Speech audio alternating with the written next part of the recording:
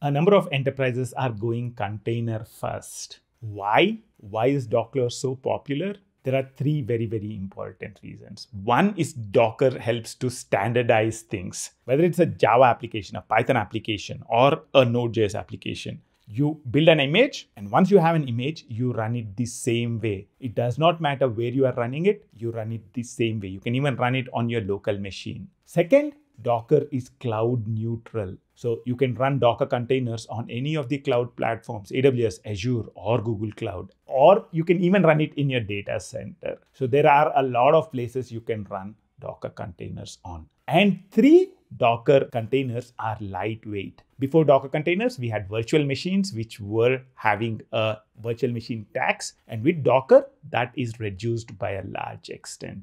I think these are three reasons why Docker is very, very popular.